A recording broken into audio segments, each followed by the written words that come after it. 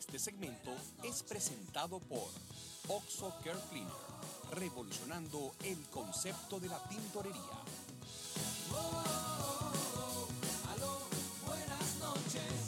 Ay, Dios mío, qué bueno está esta, esta conversación. Yo creo que vamos a tener que mm, de una vez comprometer al almirante Mario Iván Carratú Molina para la semana que viene, Patricia, para continuar esta Yo conversación. estoy aquí exilado, yo puedo venir todos los días. quiera. venir todos los días. Tenemos una sección aquí, Y sin- puesto de comando. y sin, con- y sin cobrar. No, ¿cómo, ¿Cómo que se llama el, el puesto donde está el, el- el- el capitán del barco? El, Puente.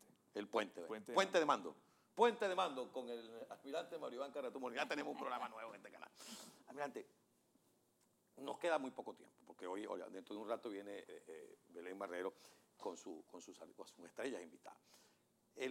La gente, en este momento, quienes nos están viendo y se dio cuenta que tres de las cuatro llamadas fueron de Venezuela, la gente quiere saber qué espera de su Fuerza Armada. ¿Qué vamos a esperar? ¿Se va a rescatar la institucionalidad? Porque lo principal que se perdió en el país fue la institucionalidad, almirante. Claro, predecir a la distancia y una tremenda crisis militar que se está desarrollando, es muy difícil puntualizar el perfil de lo, que, ocu- de lo que de lo que podría ocurrir. Pero yo tengo la confianza en que, confianza en lo que yo pienso y en lo que yo he hablado y lo que he dicho, porque no solamente es ahorita, sino vengo hablando de hace mucho tiempo de- con los militares. Aparte que yo fui profesor en, en la Escuela Naval y en el Instituto de Altos Estudios, hay, hay, una, hay una referencia personal sobre, sobre ese periodo mío en las Fuerzas Armadas. Entonces, yo tengo la confianza que la sinceridad y la sindéresis y el apego institucional va a prevalecer por mucho tiempo. Tengo la, casi la certeza, no lo puedo asegurar porque estoy por aquí.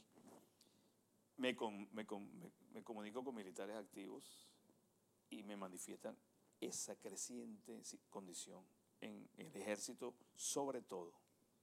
Y aviación y marina armada no, porque de, hace tiempo ya están definidos. Por eso es que los barcos no, no están bien mantenidos y los aviones no tienen buenos pilotos ni hay facilidad para operar unidades aéreas, porque tienen ese, ese control. Pero de lo, yo digo, pienso eh, en voz alta, de lo que haga la nueva Asamblea Nacional, la nueva directiva, el poder, el poder legislativo, que esos diputados se dediquen a trabajar unidos y no por parcelas. Que si yo quiero COPEI, quiero ADN, que si quiero Primera Justicia, que si Voluntad Popular, que yo tengo 14, vo- 14 electos, yo tengo 18 electos, Ah, ahí, me, ahí me corresponde la, la primera fila, a mí- me corresponde el- la, la Comisión de Defensa, etcétera, etcétera. Si eso se hace bien, yo no tengo duda que la Fuerza va a apoyar lo que esa, lo que esa Asamblea Legislativa comience a hacer. Pero le pregunto una cosita, eh, vicealmirante. Se conoció ayer que la, una fiscalía, la Fiscalía de Nueva York va a imputar a militares venezolanos eh, por supuestos vínculos con el narcotráfico. Y ya hay algunos mencionados en una investigación anterior.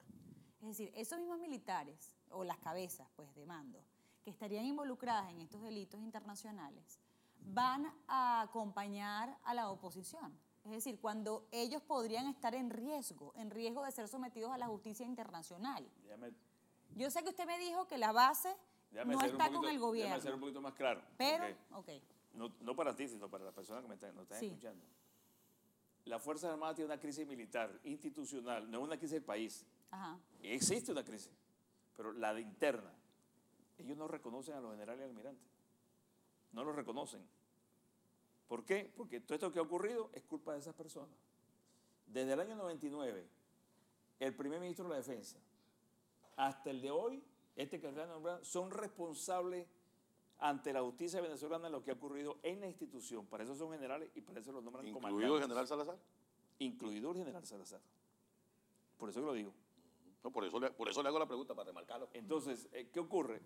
Son 19 promociones, son una cantidad de oficiales que han graduado, muchos que se han ido de baja, y han ocurrido una cantidad de cosas que en el, medio popular, eh, en el medio civil, no se conocen internamente.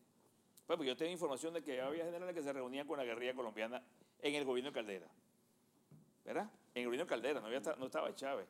Yo conozco generales que llevaron a Chávez a hablar con los guerrilleros colombianos en su vehículo, después de las elecciones. Yo sé quiénes son. Claro. ¿verdad? Porque eso se Y se no supo. eran militares de Y Chávez. no eran unidades de Chávez. O sea que hay, Todavía. hay un problema de corrupción y de, de ausencia de valores éticos y profesionales institucionalmente que ellos son responsables. En este momento que estamos hablando, Nos quedan dos minutos. ese- esos, esos militares, coron- digo coroneles y, y allá hacia abajo, tienen una conciencia bien clara, porque en estos 15 años ellos han presenciado que bajo el uniforme militar se ha abusado del poder. Pero usted Y se cansaron. Usted quería darle un mensaje a los militares Sí, que si era cuál. permite. Adelante, esa cámara es suya. Esta, mi querido, mira. Ah, gracias. Bueno, aprovecho esta oportunidad que el venezolano, en este mes de diciembre, tratar de enviar un mensaje a, los- a los oficiales activos de la Fuerza Armada Venezolana. La seguridad y la libertad de los venezolanos, porque no es la democracia que estamos defendiendo, es la libertad de Venezuela. Estamos tomados por fuerzas extranjeras. Han destrozado el país en todas las, dimensiones posibles en las Fuerzas Armadas que ustedes actualmente tripulan, para utilizar, utilizar una palabra naval, serán responsables históricamente de lo que pueda pasar en los primeros años, en los primeros días del mes de enero del 2016. Le hago un llamado a la conciencia, al respeto a sus familias, al respeto a los ciudadanos venezolanos.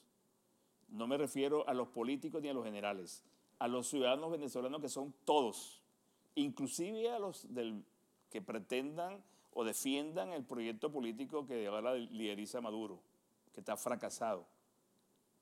Porque de, la actitud de ustedes depende la paz y la, y la seguridad de todos los venezolanos. Los diputados electos irán a la Asamblea a trabajar en la legislación nueva, en los programas y estrategias que tengan tener adelante. Pero para que ellos puedan trabajar bien y seguros, necesitamos a las Fuerzas Armadas que participen y hablen institucionalmente en función de la Constitución de la República de Venezuela.